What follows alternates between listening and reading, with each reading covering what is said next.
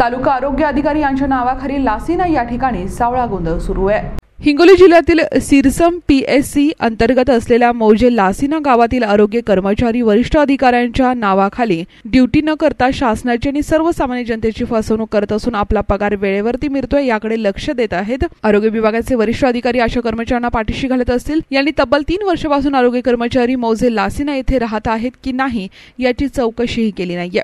या प्रकारची गांभीर्याने दखल घेतली नाही याचा अर्थ लक्ष असल्याचं दिसून येत नाहीये.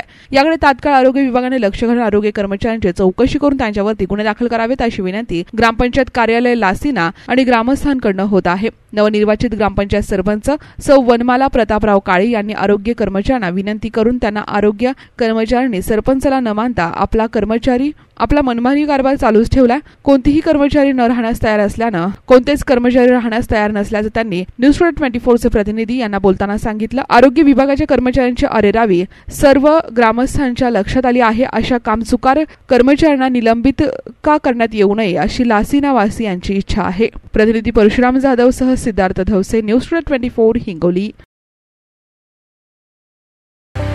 राज्यातल्या आणि देशातल्या ताज्या घडामोडींसाठी आजच आमच्या यूट्यूब चॅनलला सबस्क्राईब करा आणि बेल आयकॉनला क्लिक करा आणि बघत रहा ताज्या घडामोडी.